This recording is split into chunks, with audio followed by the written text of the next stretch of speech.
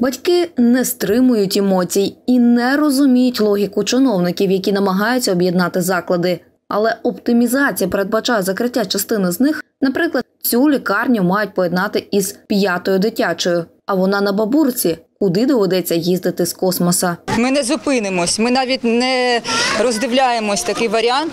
Якщо нас не, не почують, ми не то, що до Києва дойдемо. Це неприпустимо закрити лікарню. Наприклад, у мене двоє дітей, і тільки тут ми лікуємось. Е, є такі дітки, у яких є.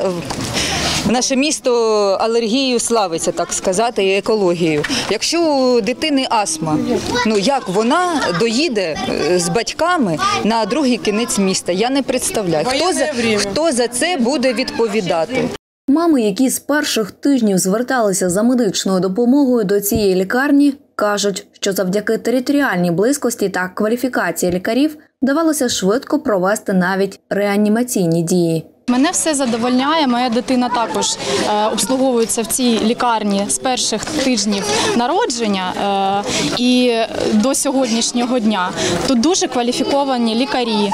Тут є сучасне обладнання, є е, сучасна лабораторія, де робляться буквально за час та навіть за 15 хвилин усі аналізи, які потрібні. Тут є кабінет ЛФК, тут є все, що нам потрібно.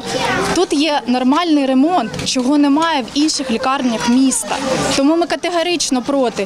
Батьки хвилюються, що життя дітей опиниться під загрозою. Моя дитина, наприклад, дуже погано переносить температуру.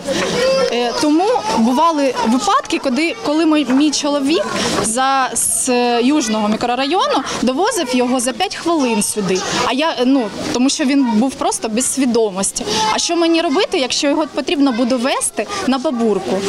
Він довезе мою дитину. Ну мені це дуже важко уявити. Не розуміє майбутньої долі закладу і медперсонал. Про реорганізацію дитячої лікарні дізналися з посту у Фейсбуці секретаря міськради Анатолія Куртєва, який рапортував про нові покращення у сфері медичних послуг. Как все абсолютно, я узнала, что боль- Як і усі, ми дізналися, що лікарню вирішили приєднати до п'ятої лікарні. Залишають денний стаціонар, який у нас існує зараз по поліклініці, та інфекційне боксоване відділення зробити резервним на випадок, я так розумію, виникнення інфекційних захворювань. Тут буде резервне відділення, яке можна при необхідності відкрити колись. І ось з цього всього ми зрозуміли, що стаціонару нашого не буде. Медперсонал може залишитись без роботи. Це звичайно дуже і дуже схвилювало. І наші працівники перебувають зараз у стані шоку. Тому така ситуація. Я більше нічого не можу сказати, тому що офіційно ніяких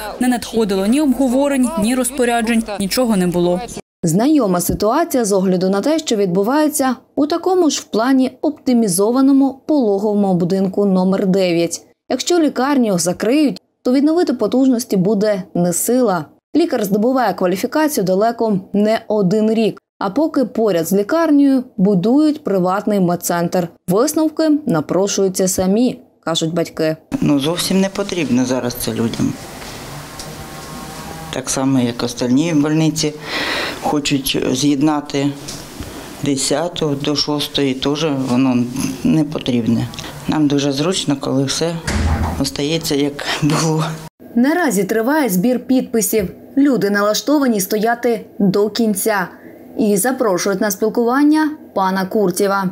А поки ж секретар міської ради публікує пост про чергову оптимізацію тепер вже у стоматологічних клініках міста.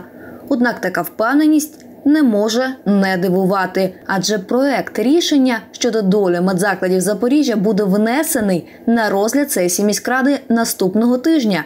І саме депутати, а не секретар вирішують, буде оптимізація чи не буде.